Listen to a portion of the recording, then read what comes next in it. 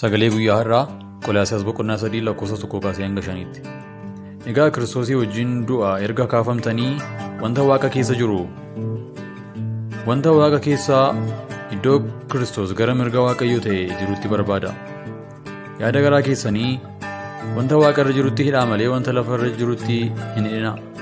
Isin duutaniitu jireenyi keessan kiristoosii wajjin waaqayyoo keessa dhokateera.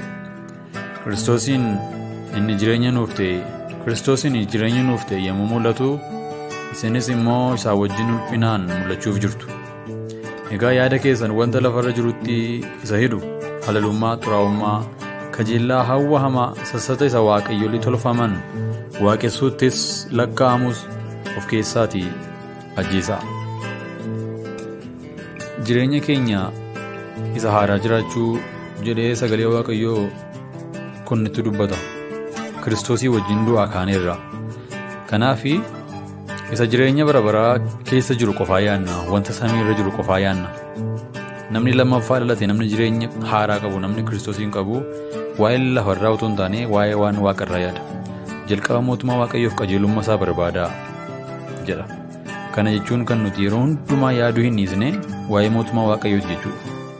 Waa'ee as biyya lafaa qofaa yaaduu namummaa keenya isa moofaatti hidhamee jirudha. Yommuu isa waan waaqarraa yaaduun namummaa keenya isa haaraadha.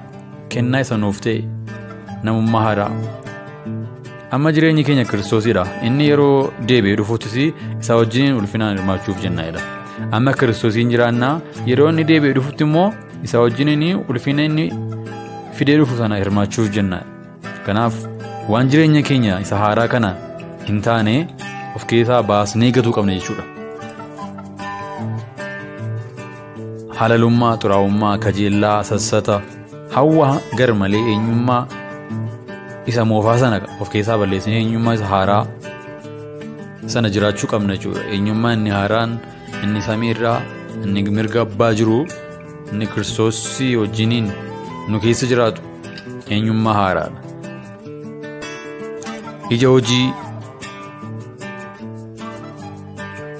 egaa anaafati kiristoosii wajjiniin egaa anaaf ati kiristoosiin jiraanna isadha jireenyi keenya inni haaraan eebbifamaa eebbifamtaniittu yeroo gaarii qabaadha.